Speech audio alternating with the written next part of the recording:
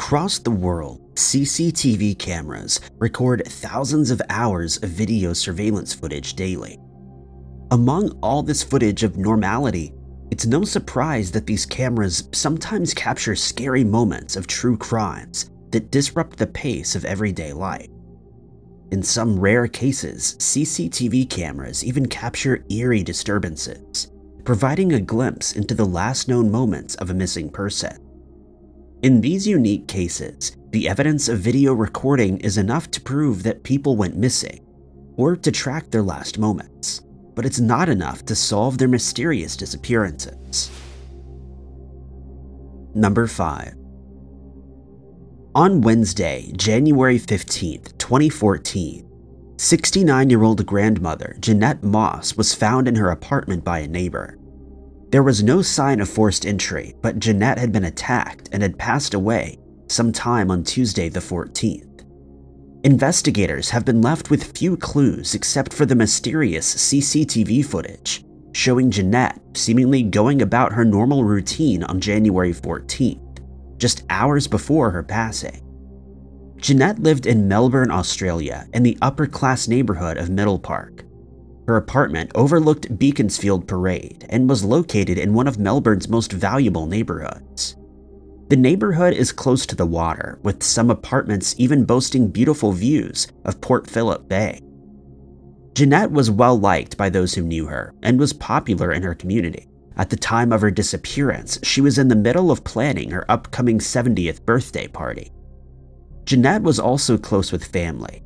She had at least two adult children, a son, Durham, and a daughter, Tara, and grandchildren that she loved, including Tara's sons. Tara remembered her mother as a loving parent and grandmother, who was generous and kind with a cheeky sense of humor. Durham added that his frail mother was happy and didn't have any enemies. He told investigators that, quote, I can't possibly imagine anyone she knows would do something like this. Jeanette has been described in the press as a socialite, but she appears to have led a fairly quiet life, often running errands or visiting the gym with friends. However, Jeanette's health was also poor. She had been diagnosed with an unspecified terminal lung disease, and a friend was scheduled to take her to her appointment on the 15th of January. When Jeanette failed to come downstairs, her concerned friend entered the apartment and made the horrifying discovery. Jeanette was found in her bedroom. She'd been strangled with a piece of her own bedsheet, and some of her jewelry was found to be missing from the apartment, which was otherwise in reasonable shape. The missing jewelry has been identified as a ring and a bracelet, as well as a gold necklace. A bottle of wine was found on the counter, and wine glasses were found on the kitchen bench. Authorities believe that Jeanette may have gotten out the wine and glasses to offer to her assailant, who she could have known. This theory would also line up with the fact that there were no signs of forced entry. In fact, the only evidence that authorities have released is CCTV footage from the morning of January 14th, which was discovered after investigators watched thousands of hours of video. The unsettling footage is made eerie by the fact that an unsuspecting Jeanette can simply be seen going about her normal daily activities. On the 14th, Jeanette had been seen around Melbourne, running errands in her green 1997 BMW sedan. These errands included driving a friend to a pharmacy located on Bay Street. The video clip, taken inside the pharmacy, shows Jeanette walking in wearing a plain black shirt, black leggings, and white shoes. She props her sunglasses, also black, on top of her short blonde hair. A large, bright pink tote bag is the most distinguishing color in her ensemble. The purse can be seen again in newly released photos of her apartment. It's placed haphazardly on the floor by the kitchen counter. In the clips released both before and after Jeanette picks up her shopping, she seems to pause for an extended period of time, looking all around her. She's probably just waiting for her friend, but knowing what we do now, it's difficult for watchers not to attribute strange motives to her actions. Based on an investigation conducted in 2022, police have concluded her life ended just hours after the footage was recorded, sometime between 12:47 and 2:52 p.m. on Tuesday, January 14th. In January of 2023, Melbourne police made a shocking announcement. they've begun to offer a $1 million reward for credible information leading to the identity of Jeanette's attacker. The Homicide Squad Detective Inspector, Paul Scarlett, told reporters that after nine years of investigation, they're hopeful that a reward will draw out additional information. Although 31 people of interest have been identified over the years, all have been ruled out as the attacker. Paul said in a statement that, quote, this was a brutal crime involving a vulnerable member of the community, alone in her home, and investigators are working hard to find justice for Jeanette. Jeanette's children have remained cooperative with the investigation and have continued to speak regularly with reporters and police in hopes of furthering their search for justice. In 2023, Durham told 9 News that there hasn't been a day when he hasn't been heartbroken by the loss of his mother. Similarly, Tara has said that she lost her best friend that day. Anyone with information about Jeanette's passing is asked to contact Crime Stoppers at 1 800 333 000 or to submit a confidential online report at crimestoppersvic.com.au. Number 4. Vicky Glass was born on September 21, 1979, in Cleveland, in the Yorkshire region of England. She had one older sister, as well as an older stepsister and a half brother. Her childhood was quiet, full of love and family. Along with her siblings, she attended the Blakeston Secondary School in the town of Stockton-on-Tees. As a child, Vicky was quiet and shy around those she didn't know well, but with her family and close friends, she was bubbly and caring. As she got older, she began to enjoy socializing more and more. When Vicky was a teenager, she became heavily involved in the Kiora Hall Jazz Band. From the ages of 13 to 18, she traveled regularly with the group, often performing for large crowds. However, Vicky aged out of the band, and according to her parents, her lifestyle seemed to change once she lost this focus point.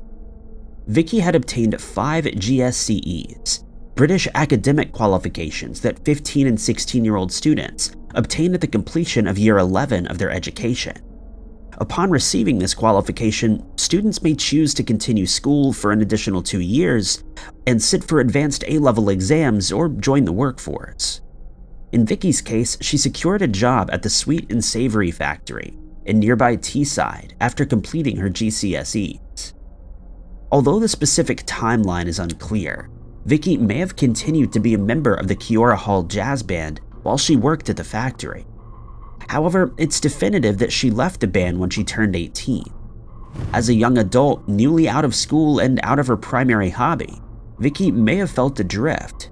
It was here that her parents and investigators on her case alleged that she reached an unfortunate crossroads. The vivacious young woman fell in with a dark crowd of exploitative individuals involved in the drug trade and even trafficking. It was through this social group that Vicky was first introduced to heroin an extremely addictive illegal drug. She quickly became addicted and within a period of just a few years found herself unemployed and homeless. In order to fund her costly addiction, Vicky turned to selling her body. Of her situation, her family later said in a statement that, quote, Vicky was a vulnerable woman who was exploited by men. She was not a sex worker by choice, but forced by circumstances as a young adult. She had her whole life ahead of her and was loved by her family. Vicky was known to practice her trade in the Cannon Park area of a North Yorkshire town on the bank of the River Tees.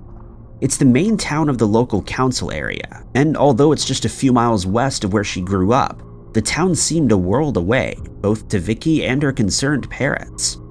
Around Christmas of 1999, Vicky, homeless and suffering from a devastating chest infection, agreed to move in with a male friend who lived in the area meaning that she could spend more time offering her services and making money for drugs. In particular, she frequented parking lots where trucks were known to stay overnight. For nearly a year, Vicky remained at the unidentified man's home in Petch Close in Middlesbrough. Although she was recovering from her infection, she continued to use drugs and sell her body, which contributed to her overall ill health. On Sunday, September 24, 2000, at just after 4 a.m., Vicky called a taxi to pick her up at a client's house. After a short ride, she got out of the car on Union Street, just to the rear of a pub called the Shipmate. the taxi driver drove away and returned to his firm's office. He was the last person to ever see Vicky alive. She had turned 21 just three days prior. In the days after September 24th, the man who Vicky lived with realized she was missing and quickly contacted the police. She also spoke to other people in the area, including Vicky's friends and associates, none of whom reported having seen her. A missing persons investigation was launched by the Cleveland police. Investigators were able to put together a fairly detailed timeline of the last days Vicky was seen.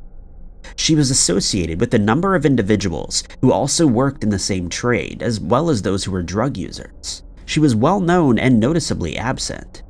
On Sunday, September 23rd, Vicky and a friend left her residence on Petch Close around midday to go and find clients for their work. Sometime after midnight, Vicky and the client traveled to a home on Prince's Road, which was well known to those involved in the underground markets of Middlesbrough. After a few hours, Vicky went to her client's home in Stockton. It was from here that she would hail the taxi that took her back to the shipmate on Union Street. It's worth noting that Union Street is also where Vicky and the client picked up the taxi after visiting the home on Prince's Road. Vicky may have been returning there when she asked the cab driver to drop her off on Union. However, where she went next remains unknown, even to this day. Although Vicky's movements on the 23rd and into the evening of the 24th were reasonably well tracked, investigators were not able to pinpoint what happened after the taxi dropped her off and tragically, the missing person investigation shifted into something more serious when on Friday, November 3rd, Vicky's body was discovered in Danby, a village in North Yorkshire, approximately 20 miles away from Middlesbrough. Vicky's remains had been placed in a stream, and identification was difficult. There were no traces of her attacker left behind, and any evidence had presumably been left behind by time or nature. Notably, investigators have not released her cause of death. This is a slightly unusual maneuver which may indicate that police are playing their cards close to their chest in an attempt to draw out the attacker, even more than 20 years later. Vicky's case received renewed attention in 2021 when Cleveland Police's Historical Investigation Unit began to reinvestigate her passing with modern forensic techniques. It was in this review that police found a major clue which had been overlooked 20 years prior. CCTV footage which appeared to show Vicky on the last day that she was known to be alive. A thorough review of more than 200 hours of footage from the time of Vicky's disappearance turned up video of Vicky and her friend in the Cannon Park area of Middlesbrough on the afternoon of September 23rd. The footage, which was newly released to the public on November 4th, 2022, shows the clothes Vicky was wearing on that fateful day. A dark puffer jacket with light colored pants, top, and sneakers. In addition, the CCTV footage provided fateful clues as to the identity of Vicky's friend, a potential key informant in her case. The unidentified friend, who was likely involved in illegal activities with Vicky, told police that she remembers Vicky having a conversation with a truck driver on the afternoon of September 23rd. She added that Vicky and the driver had plans to meet later that evening. Based on this new evidence, the truck driver is a major person of interest to investigators, who are actively working Vicky's case. The man was white, in his mid-30s, with a broad build and a mole on his face. The Cleveland Police website describes identifying this individual as a significant line of inquiry for the investigation team. In addition, the department returned to the town of Danby in November of 2022 to try to collect statements from local residents. However, whether or not this video or the information it's revealed has led to any leads in Vicky's case is unclear. Four people have been arrested in connection since 2000, but all have been released with no further actions taken the investigation remains active. Anyone with information about Vicky Glass, the truck driver she was seen speaking with, or anything that may be relevant to the case is urged to contact the Cleveland Police or Crime Stoppers. Per the Cleveland Police website, individuals should contact the Operation Ardent Investigation Team at the department by calling 01642 301 773. Investigators also maintain a website for Vicky's case, which can be found at vickyglass.co.uk. Number 3. Gretchen Fleming, age 27, is one of the US's most recent missing person cases. She was last seen on December 3, 2022, and is still missing less than two years later. In her absence, her family marked her 28th birthday on December 24th. Gretchen's case has been at the center of a national flurry of media attention, perhaps because of the CCTV footage that places her in the car and possibly the home of a strange man who she met at the bar on the night that she was last seen. Gretchen Fleming grew up in West Virginia. Friends from that time remember her as a loving, social girl with a contagious laugh. A Facebook post asking for stories or testimonials as to her past brought in more than a dozen comments from those in the region, including several young adults who grew up with Gretchen. Her childhood friends wrote that they loved to perform at home musicals and plays, and that she always had an annual sleepover on the first day of Christmas break to celebrate her birthday, which was on Christmas Eve. High school friends wrote about her music, her fashion sense, and her love of Paramore. One remembered listening to a cover she recorded of the song A Simmer. By all accounts, Gretchen was well liked. She was born and raised in West Virginia, but she left for college traveling to William Peace University and Shaw University in North Carolina to study political science. As of December of 2022, she had recently returned to West Virginia and for the past six months had been staying with her grandmother in the town of Vienna. Her friends and family have described adult Gretchen as a creative person with an independent spirit and a great personality. A longtime friend told NBC that Gretchen valued her independence and sense of fashion. He also added that, quote, she's so creative, music is a big part of who she is. She's done all these different things. She's traveled, she's very well spoken. She used to be a writer and still does write. Gretchen had recently taken a job at an H&M store at her local mall and was in the process of rebuilding her roots in the West Virginia community. On the evening of December 3, 2022, Gretchen spent the night out with a friend at multiple bars and restaurants in the Parkersburg, West Virginia area. Parkersburg is just a few miles south of Vienna, but is a much bigger city, with a built-up downtown and more than 300,000 residents. Gretchen and her friend started the evening at the Front Row, a sports bar and grill in Parkersburg. Although the identity of her friend has not been confirmed, police have said that this individual is not a person of interest in Gretchen's case.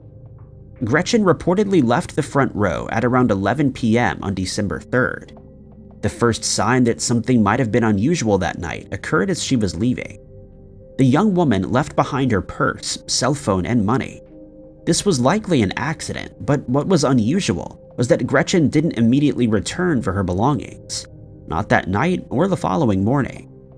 Employees of the front row held on to Gretchen's belongings for a week, until December 11th when her father came to pick them up.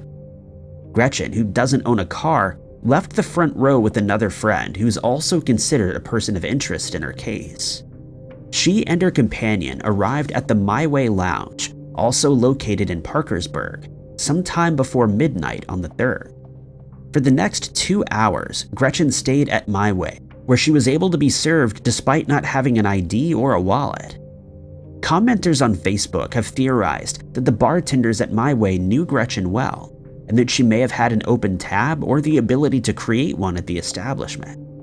The My Way staff and ownership have collaborated with police, so presumably this question has been addressed. However, investigators have not released any official answers. Whatever the case, it's clear that Gretchen remained at the My Way Lounge until about 3 a.m. on December 4th. While she was there, Gretchen met a man who she would eventually leave with and who would become the primary person of interest in her missing person case. Although investigators have not released the man's name, multiple media outlets have confirmed that he's 55-year-old Preston Pierce. In the very early morning hours of December 4th, Preston offered Gretchen a ride and she accepted. Video surveillance from the My Way Lounge shows the two leaving the bar and heading to Preston's vehicle a dark colored Nissan Rogue with Darth Vader decals on the back windows. However, their entry into the car is not captured because of where it was parked. Thus, the walk from the bar towards Preston's car is the last time Gretchen has been seen in nearly two months. Because Gretchen didn't live with her parents, they didn't immediately report her missing. However, after several days of not hearing from their daughter, they filed a missing persons report on December 12th, and investigators sprung into action. They were able to trace Gretchen's timeline of her night out and quickly got in touch with Preston, a former police officer himself. He told them that he gave Gretchen a ride, but that she got out of the car at some point before they reached his house. Preston's statements have been inconsistent and vague, and since first communicating with police, he's clammed up and stopped cooperating. Because of this, investigators have had to rely on alternative methods to gather information about his and Gretchen's movements. As early as December 29th, police asked residents of the Parkersburg area to review footage from their home security cameras on December 3rd and 4th. On December 30th, they also released high-quality images of the car from all angles to local media sites, so that residents could compare it to evidence from private footage. From this appeal, police have put together a timeline of the car's travels for at least two miles on the 4th, confirming that it was driven towards Preston's house. They've not been able to confirm that Preston stopped at any point and dropped Gretchen off like he claimed. Preston has not been arrested, nor have police spoken further about his involvement in the case. Their most recent statement, published January 12th of 2023, focused on reassuring the community of their ongoing commitment to bringing Gretchen home. In the statement, Parkersburg Police Chief Matt Board said that because, quote, we're not releasing some aspects of information that some people would like us to, does not mean that we don't have information. That does not mean that we're not actively and aggressively pursuing the case. But while looking for Gretchen, we also have to protect the integrity of the investigation, in and of itself. Meanwhile, while the police department gathers intelligence, online attention has continued to mount around Preston Pierce and his role in Gretchen's mysterious disappearance. Preston is known to have worked for several police departments in West Virginia, including Barbour and Jackson counties, as well as the Vienna Police Department. After his retirement from the force, he reportedly became a delivery driver with the food service DoorDash, servicing the general Parkersburg area. Commenters on Facebook have gathered to share their experiences with Preston, with more than 15 individuals sharing a range of concerning interactions. Those who ordered DoorDash and had him as their delivery driver remarked that he seemed to ignore appropriate boundaries, including multiple reports of him returning to the scene of deliveries hours later to tell women that they were beautiful. Another woman claimed that she eventually contacted DoorDash about how uncomfortable Preston was making her when he repeatedly accepted deliveries from her address and insisted on lingering nearby, only to be told that the company had collected multiple similar reports about his behavior. Women also claimed that Preston exhibited unusual behavior in a variety of other situations. One Facebook post from 2017 in a local yard sale group exhorted people not to buy or sell anything from Preston, who also went by Daryl Lott, as he would regularly agree on a price and then backtrack before asking women to meet without their husbands present. The poster said that Preston would then obsess for years about the interaction before blasting women again on social media. But perhaps most troubling were screenshots of an interaction between Preston and a 15-year-old girl on social media, which have been provided to the Parkersburg Police Department and made publicly available on Facebook by the adult who reported the message. In the images, which have not been verified by investigators, a profile belonging to Preston can be seen messaging the teen and asking her to go out to dinner with him. Preston then sent several suggestive messages, implying that the teenager knew what sweet thing he wanted to eat and could take the long drive back to his house with him. According to the poster, the teenager had felt comfortable messaging Preston because he was the father of one of her friends. However, after the messages turned inappropriate, she turned to the adults in her life and cut off communication. The adult who posted the screenshots of the conversation said that she didn't report the interactions until January of 2023, when Preston became a person of interest in Gretchen's case.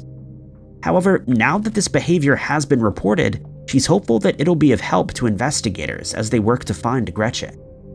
Police have executed search warrants on Preston's home, car, and electronic devices, including his phone. They're reportedly still waiting on the results of these searches. As of January 20th, 2023, Preston has not been charged for his role in Gretchen's case. However, he's not been able to provide a consistent story as to where she went the night in December once she reportedly left his car. Investigators continue to work Gretchen's case. Anyone with information is asked to contact the Parkersburg Police Department at 304 424 8444 or lead detective James Zimmerman at 304 424 1072. There's currently a $65,000 reward for information in her case. Gretchen's father has created a GoFundMe for the investigation called Bring Gretchen Home. There's also an active Facebook group dedicated to Gretchen's case called Gretchen Fleming, West Virginia TCR. Number 2. John P. Wheeler III, known to his friends as Jack, was a well-respected military man with a long career working as a White House aide and in federal politics. Yet in 2010, the dignified man met an undignified end when he was killed and placed anonymously in a dumpster. The mystery of who would want to attack a 66-year-old former political aide deepened when CCTV footage from the days prior to Jack's death surfaced, showing the normally reserved man acting deeply strange and perhaps even frightened. It's a mystery that's baffled investigators for more than 10 years, ever since Jack's body was found on December 31st, 2010. Prior to his passing, Jack led a distinguished life. Born in Laredo County, Texas in 1944, Jack was raised in a military family. His father, John Wheeler II, had served as a colonel the US Army and as the eldest of three children. Jack knew that he wanted to join the tradition. After graduating high school, he attended the US Military Academy at West Point, graduating in 1966 as a distinguished candidate. From there, he began his military career as a fire control platoon leader at a nuclear site in New Jersey. In 1968, Jack entered Harvard University as a graduate student in strategic programs and system analysis. And in 1969, he flew out to the US Army headquarters in Vietnam. Jack left active duty in 1971 and pursued a law degree from Yale University. After graduation, he took a job working for the federal government's Securities and Exchange Commission. He spent much of his career working in Washington, D.C., on a number of public and private projects, including as an aide to three different presidents Ronald Reagan, George Bush, and George H.W. Bush. Since the 1980s, he was heavily involved with a number of charity organizations, including those that support Vietnam veterans as well as deaf individuals. By the late 2000s, he was consulting with the US military on cyber weaponry and technology. In 2008, he received the Air Force Exceptional Civilian Service Award a short biography posted about his work in 2009 spans four pages when another person might have maxed out at one or two. By all accounts, Jack was an exceptional individual. Yet, despite his work for the military, there didn't seem to be any specific reason to target him for the attack, which took his life in 2010. Jack's wife, Catherine Klyce, even told reporters that while he'd made lots of enemies in his career with the national defense industry, nobody would want to kill him. The case is a total mystery. Perhaps the most useful clue in Jack's unsolved case is CCTV footage, which captures his movements in the days leading up to December 31st. The footage is baffling at best and alarming at worst, but it may provide a crucial clue in the attempts to understand what happened to Jack. Jack was known as a very intense man, who could sometimes come off as blunt or even aggressive. He's been described as a bulldog, a good friend described him to a reporter as a complicated man of very intense and sometimes changeable friendships, passions, and causes. It wasn't unusual for him to ruffle feathers. Jack had also been known to struggle with his mental health. He was diagnosed with bipolar disorder, and in 2004, he was hospitalized for a short period during a manic episode. However, his distinguished career clearly indicates that his mental status did not majorly hold him back. Catherine also confirmed that Jack was on medication and took it consistently, although he sometimes ran out because he traveled so much. Catherine and Jack married in 1997, when each already had two children from previous relationships, and although their marriage was happy, it was unconventional.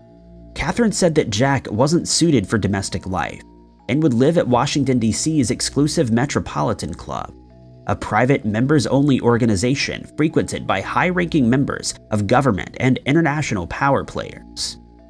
The pair had separate homes, with her in New York City and him in New Castle, Delaware, located between New York and DC. On December 24, 2010, Jack arrived in New York to spend the holiday with his wife. The pair were set to go out to dinner on December 27th, but Catherine said that Jack felt sick, so she went without him and returned home late. When she woke up the following day, he had already left. This was not unusual, and she expected to see him again in New York in a few days, when they had plans to travel together to a friend's wedding in Boston. However, Catherine never saw her husband again. Authorities have been able to put together a timeline of Jack's movements in the days between when he was last seen and when his body was discovered on December 31st. Using his cell phone records and eyewitness accounts, they've determined that Jack headed to Washington, D.C. on the 28th, where he dined at the Metropolitan Club before presumably heading home to New Castle that evening. Late that evening, at around 11.30 p.m., firefighters were called to a property across the street from Jack's home. The partially built house at that property was a particularly sore spot for Jack, who contended that the home would block his view of the Delaware River. In addition, he had called the building on the site, which was the location of the Revolutionary War battle, sacrilegious, and he had gone so far as to sue the property owner. On the evening of December 28th, an unidentified man wearing a hooded sweatshirt lobbed smoke bombs onto the first floor of the home. A neighbor witnessed the crime and said that the man's build matched that of Jack. In addition, Jack's cell phone was discovered in the home on January 7th, further increasing suspicions that he was responsible for the strange attack. However, his potential role has never been confirmed. It's known that Jack lost his cell phone on the evening of the 28th, because on the morning of December 29th, he sent an email to an unidentified person or persons, saying that his home had been broken into and his cell phone, badge, and briefcase were missing.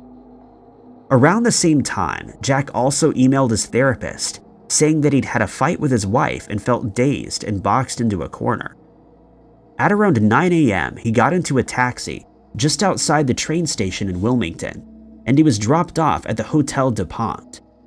It's unclear whether Jack spent the evening of December 28th at the home in New Castle, or whether he'd gotten off a train in Wilmington on the morning of the 29th. The two cities are located about 6 miles apart, not a far distance by any means, but also not a distance Jack would likely travel on foot. Jack was not confirmed to be in New Castle until later on the 29th, when a camera captured him at a pharmacy near his home. He reportedly was known to frequent the location and knew the pharmacist. According to multiple sources, Jack asked the pharmacist, and potentially even the patrons of the pharmacy for a ride back to Wilmington. He claimed he'd left his car there before the Christmas holiday.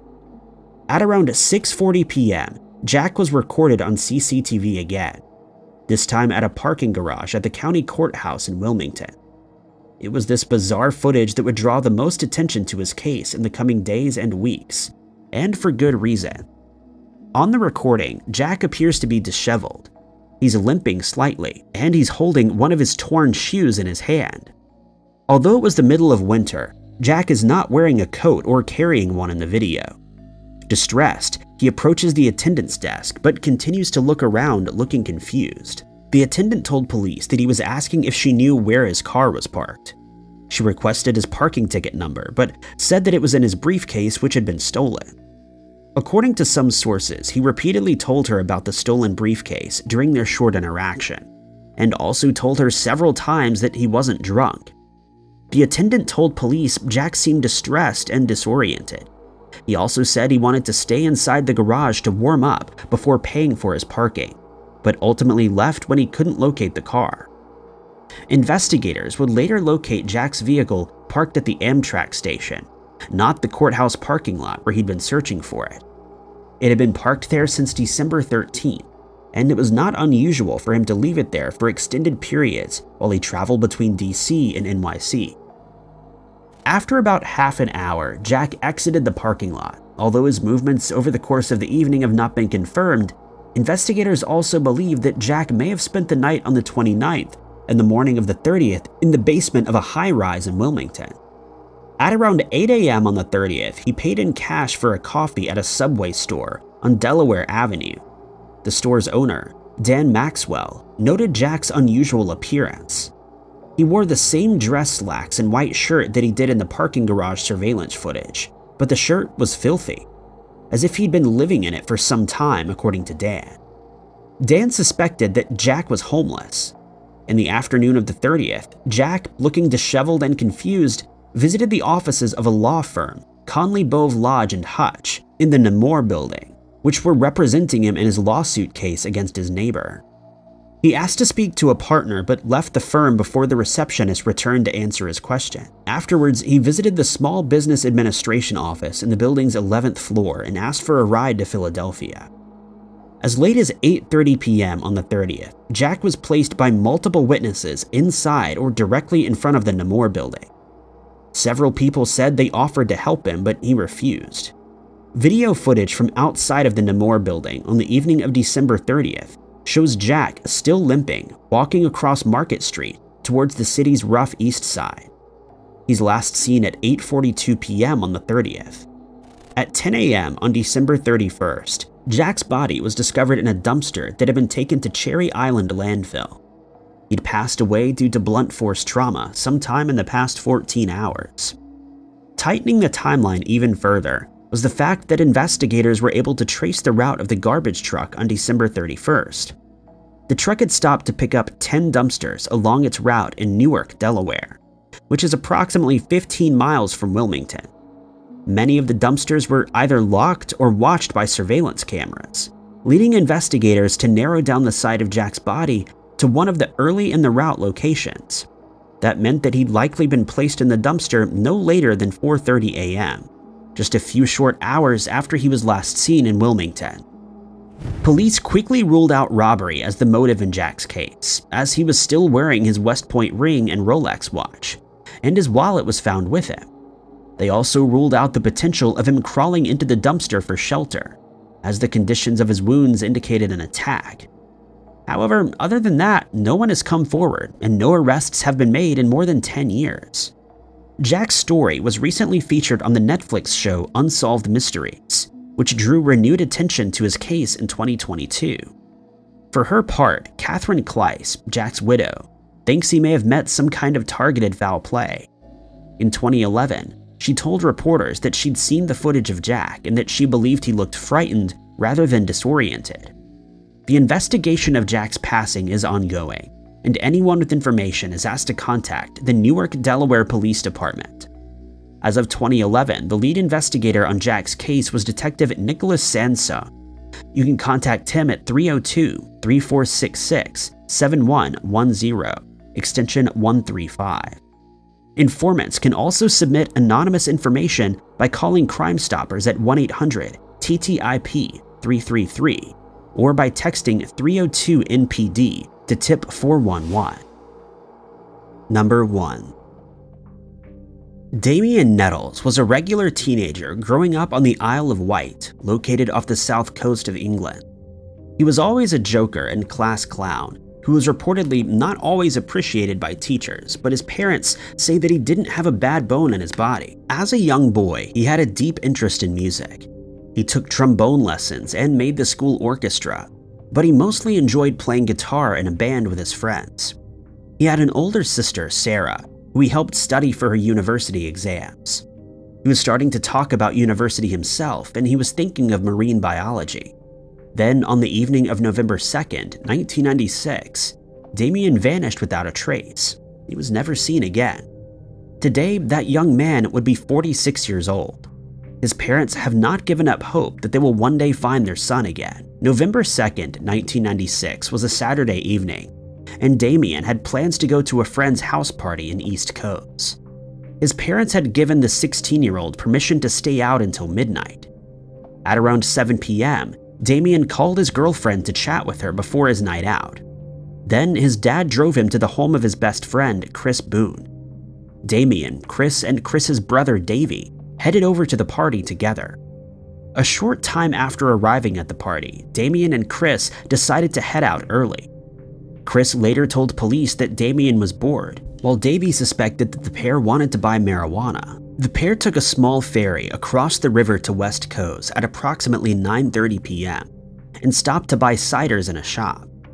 Damien had taken a small black camera with him from the house party, which he used to take pictures of himself and his friends. It has never been recovered.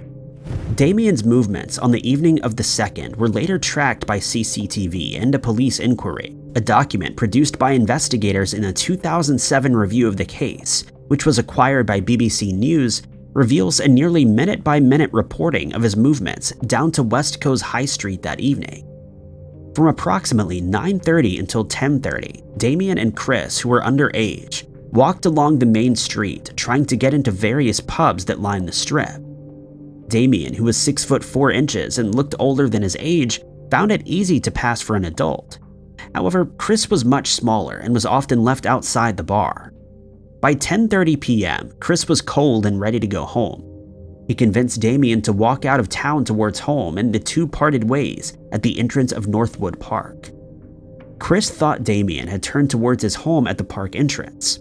That's what he had done at least. However, for reasons that are still unclear, Damien turned back towards the West Cowes High Street after dropping off his friend.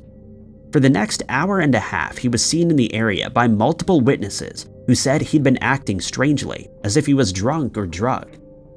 At 11.15, a witness saw him trying locked car door handles on a blue Ford Fiesta parked outside of the Harbor Lights pub. At approximately 11.35, a CCTV camera at Yorkie's Fish and Chip Shop captured the last still existing footage of the young man.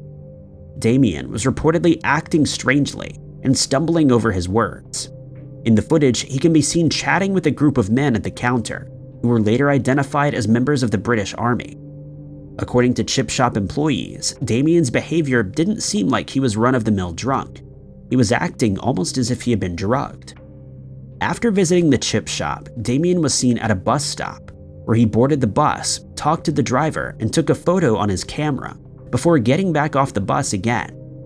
Another witness who was at the bus stop at approximately 11.59 confirmed that there was a man who matched Damien's description hanging out at the bus stop despite the cold and rainy weather. The man, who the witnesses suspect was Damien, approached his car and twice said to him, they're watching us. He then walked away back towards the street. However, this sighting has never been officially confirmed. Police have revealed that Damien was seen on CCTV footage from the street at 12.06 a.m. on November 3rd, but this footage has since been lost.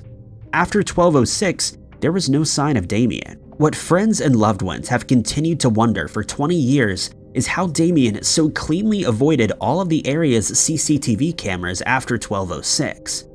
His movements are thoroughly accounted for between 10.30 and 12 a.m., even though he was on his own. Yet, after midnight, it's like no one saw him. Investigative journalist Alice Hart, who helped produce a documentary series about Damien's case, told Vice News reporters that, quote, up until a few minutes after midnight, it's almost minute by minute, the eyewitness accounts of where Damien was and who he was speaking to. And then it stops. How did a 16-year-old boy disappear? Damien's family reported him missing the day after he failed to return home, after they were unable to locate him at the homes of his friends or anywhere else. According to his parents, Hampshire police did not take his absence seriously, and at first even mistakenly listed him as 19 years old not an endangered minor. Damien's parents allege this initial mishandling also accounts for the loss of crucial CCTV footage from after midnight on the 3rd. In addition, Damien's mother, Valerie, felt particularly misaligned by the police department, who she believes labeled her as a hysterical mother. She also believes that the police failed to take into account information that she had gathered about Damien's movements, and focused too heavily on their own internal theories.